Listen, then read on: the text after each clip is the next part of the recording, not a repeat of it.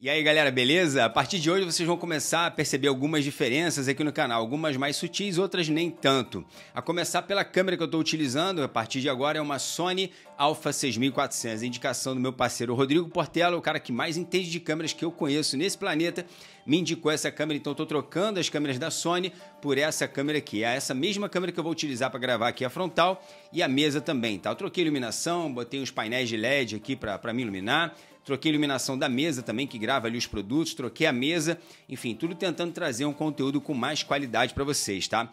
E vocês também vão começar a perceber outras diferenças. Em breve vou mudar o nome do canal, vou passar o nome do canal para Rodrigo Vaz, ok?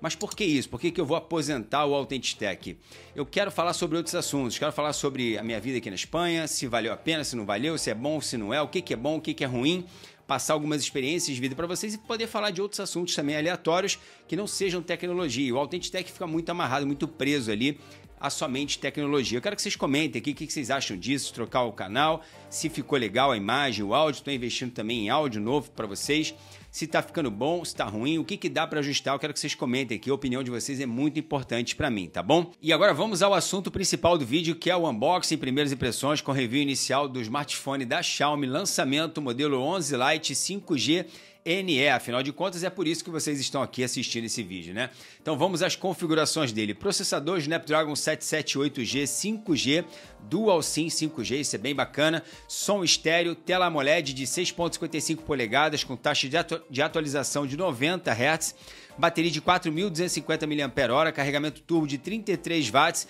e ele tem um peso de somente 158 gramas. Ele é muito leve e muito fino, parece um cartão de crédito. Muito elegante, muito bonito, inclusive acho que é uma excelente opção para quem quer investir até dois mil reais aí para poder importar direto da China, tá? O link vai estar tá aqui na descrição do vídeo. Você pegando pelo link já sabe que me ajuda bastante. Se tiver um cupomzinho de desconto, vou deixar também. E você pode também participar da rifa desse cara aqui, 8 de RAM com 128 de armazenamento na cor preta, beleza? Agora vamos lá para a gente poder abrir a embalagem e conhecer juntos esse lançamento da Xiaomi modelo 11 Lite 5G NE. Partiu!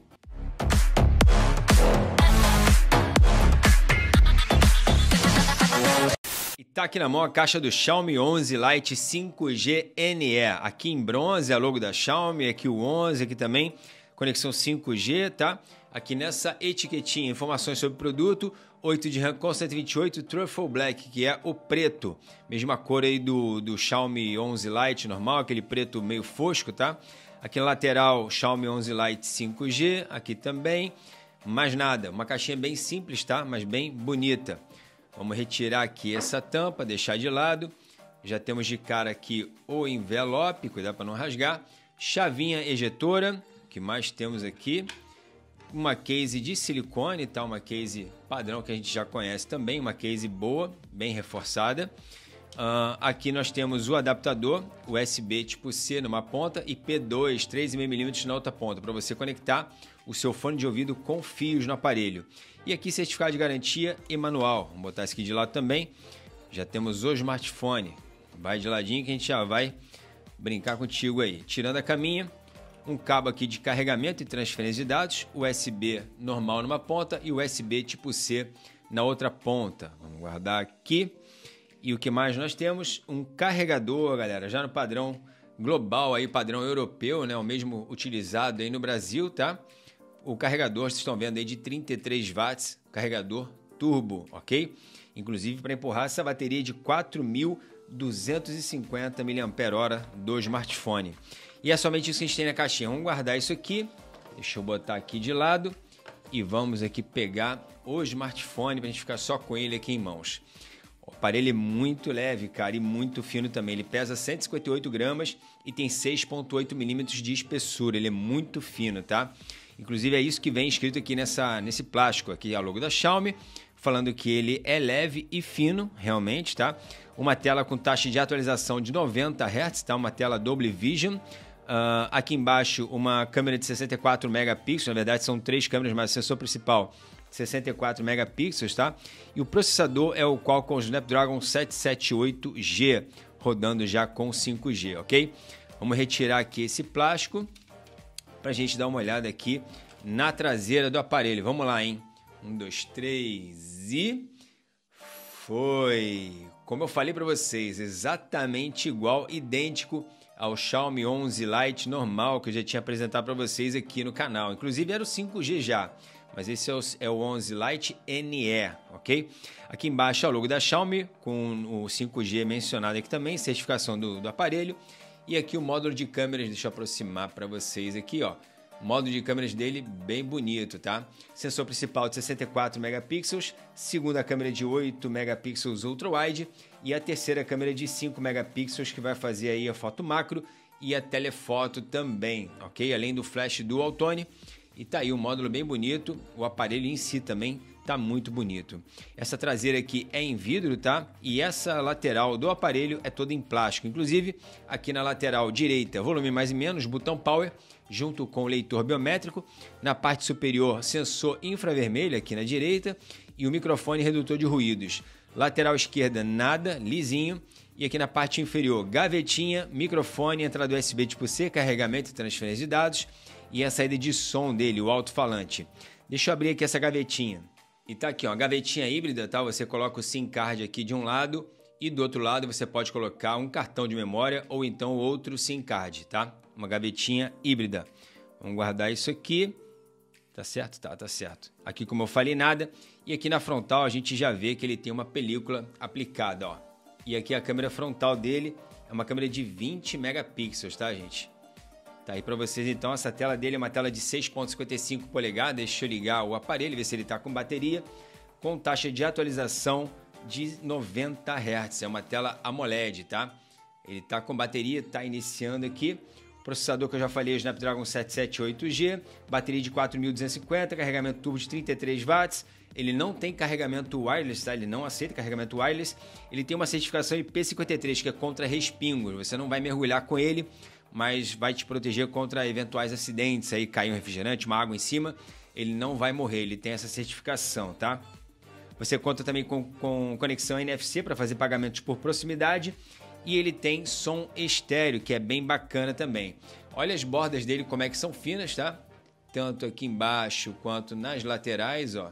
Na parte superior também, bordas bem fininhas. O aparelho está muito bonito, está muito elegante, né? Muito charmoso e muito fino e muito leve.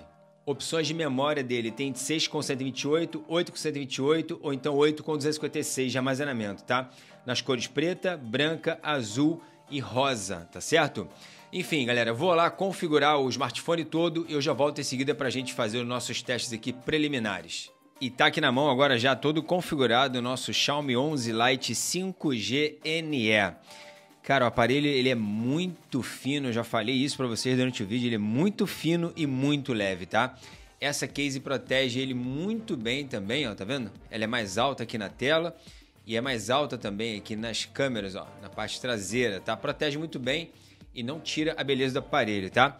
Desbloqueio de digital, encostei, de novo aqui, encosta, ele já desbloqueia, tá? Agora aqui, desbloqueio facial, olhou para mim, já abre também desbloqueado, ok? Processador Snapdragon 778G. Bom, vocês já sabem que é a versão global, já tudo em português, Brasil, tá? Já recebi aqui uma atualização, já está usando aqui a versão da MIUI 12.5.3.0 estável, ok? Vamos voltar aqui, 31 GB preenchidos dos 128. que mais que eu tenho que mostrar para vocês aqui? Tela, aqui em taxa de atualização, 60 ou 90 Hz. Vamos deixar aqui em 90 para a gente fazer os nossos, os nossos testes aí daqui a pouco, tá? E jogando aqui para baixo, você tem todo o menu aqui de configurações normal também, padrão que vocês já conhecem, tá? Deixa eu voltar aqui, pronto. Bom, de aplicativos aqui, ferramentas já pré-instaladas. Calculadora, digitalizador, downloads, bússola, gravador de voz, relógio, uh, Mi Remote também, por conta do sensor infravermelho, tá? Para você controlar dispositivos aí utilizando ele direto, tá? O GameTube ele já instalou também, já veio pré-instalado. Aqui mais aplicativos, são aplicativos regionais, tá? O uh, que mais aqui? Os aplicativos Google também, já todos pré-instalados, ok? E puxando aqui, isso já é da MIUI, tá? Do lado esquerdo você tem as, as notificações normais e aqui do lado direito é o menu de atalho, ok? Você pode ativar aqui as funções, Wi-Fi, enfim, Você tem tudo aqui à sua disposição, tá? Vamos aqui agora dar uma olhada no teste de Antutu para a gente ver a performance desse processador Snapdragon 778G. Cadê ele? Saiu ali. Vamos esperar ele voltar. Pronto. 492.438 pontos. Mi 11 Lite 5G NE. Aqui eles usam Mi, mas não tem mais o Mi. o aparelho também não aqueceu, tá, gente? Foi um teste tranquilo, ok? Segurei ele durante um tempo aqui.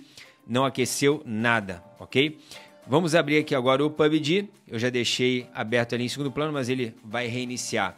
Para a gente fazer aqui um teste de jogos, uma coisa bem rápida para a gente ver se vai ter algum tipo de travamento ou de engasgo. Vamos abrir aqui configurações na parte aqui gráfica para a gente dar uma olhada tanto no lobby quanto no combate. HDR Ultra Realista, ok? Ele não aceita aqui o Ultra HD. Então resolução máxima HDR Ultra Realista. Vamos lá iniciar uma partida para a gente ver aqui na prática. E vamos lá, gente. Teste do aviãozinho que a gente faz aqui, tradicional. Muito fluido, tá? Olha aí, rodando. Sem problema nenhum. Nenhum tipo de lag, nenhum tipo de engasgo. Muito bom, tá, gente? Muito bom. HDR Ultra realista, resolução máxima que aceita no PUBG rodando com Xiaomi 11 Lite 5G NE, processador Snapdragon 778G uma GPU da Adreno 642. Olha aí, ó. Não trava, não engasga por nada e muito fluido, tá, gente? Muito bom. E tá aí, muito bom o resultado do, do teste de jogos aqui do PUBG. E agora vamos lá abrir o nosso tradicional também teste de áudio. Botando aqui na tela cheia, aplicando a pinça. Brilho já tá no máximo. Deixa eu voltar aqui. E tá aí para vocês, ó. O volume também no máximo, tá? Ó, o áudio dele é estéreo, ok? Sai em cima e sai embaixo. Uma tela também com brilho bom, um brilho forte, cores bem nítidas. A minha internet, como sempre, aqui me deixando na mão. Vamos esperar ela carregar de novo. Agora sim, pronto, voltou. Então, como eu estava falando, é uma tela com cores vivas, cores fortes e intensas, é uma tela AMOLED com uma nitidez muito boa também. E o áudio dele é muito bom também, tá? O áudio não distorce, não é estridente, não tem muitos agudos, é bem equilibrado. E uma tela muito boa, uma, uma taxa de preenchimento, ocupação também muito alta, uma resolução muito boa. O furinho aqui na tela, no cantinho, não atrapalha em absolutamente nada, ok? Vamos encerrar aqui o nosso teste agora. Bom, o que eu já mostrei para vocês aqui de aplicativos é só o que já vem pré-instalado, são poucas coisas, tá? Nada além do essencial. Isso aqui depende da região que você tá. Eu coloquei como Espanha, ele vai colocar alguns aplicativos. Você bota Brasil, vai colocar outros. Ele já botou para mim aqui TikTok, esse WPS Office, esse 92, a Netflix, esse PUBG aqui foi ele que instalou. Enfim, é, o AliExpress, AliExpress, o Amazon, já ele já coloca isso por padrão, mas depende da região, ok? Vamos abrir aqui o software de câmeras e vamos dar uma olhada o que, que ele tem para nos oferecer aqui. Vamos lá. Temos aqui o modo Pro, o modo vídeo com a wide angle, com um zoom também máximo de 6 vezes para vídeo, ok? Aqui na foto também temos a wide angle e um zoom máximo de 10x para fotos. Modo retrato e aqui no mais temos modo noturno, 64 megapixels, vídeo curto, panorâmica, documentos, vlog, câmera lenta, time-lapse, clonar e algumas outras opções ele também. Vamos acessar aqui em vídeo as configurações resolução máxima 4K, 30 FPS. Aí quando você ativa inteligência artificial, já joga para 1080 a 30 FPS, tá? 4K, 30 resolução máxima. Aqui, deixa eu ver, não, não tem, ah, tem. Aqui, ó, você aciona o estabilizador de vídeo, aí já joga também para 1080, 30 FPS, ok? Vamos lá que eu vou rodar para vocês agora algumas fotos e vídeos e a gente volta em seguida para finalizar o vídeo.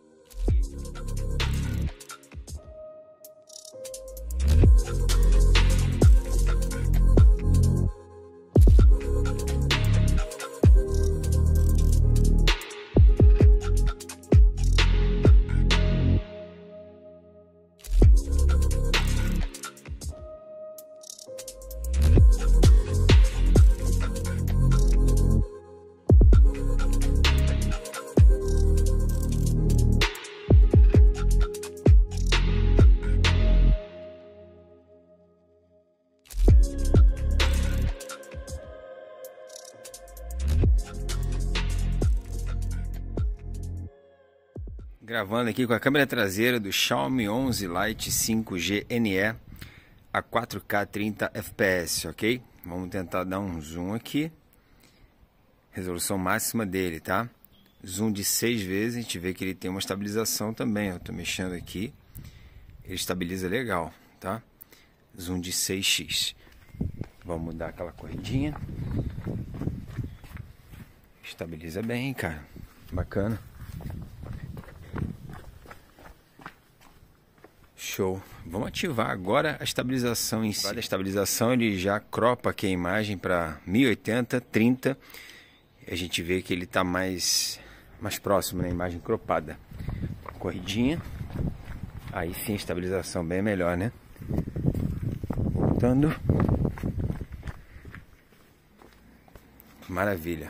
A gente não tem zoom, mas a estabilização muito boa agora aqui com a câmera frontal, resolução máxima 1080, 60 fps, câmera de 20 megapixels do Xiaomi 11 Lite 5G NE. Bom, pra mim aqui o HDR inexistente aqui na frontal, tá? Deixa eu tentar ver aqui. Ó.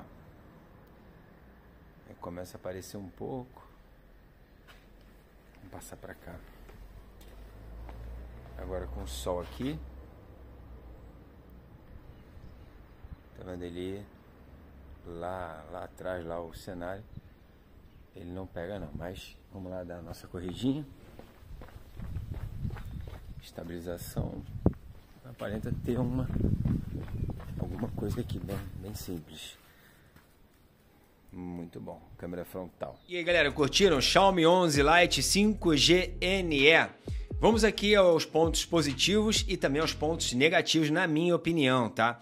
Pontos positivos. Processador Snapdragon 778G é um bom processador, um aparelho intermediário, não é nada top de linha, mas a proposta dele não é ser um top de linha, é um aparelho intermediário, processador muito bom. O peso dele ele é muito leve e muito fino, extremamente leve e extremamente fino também. Muito elegante, muito charmoso, muito bonito tal tá, aparelho. A pegada dele é excelente.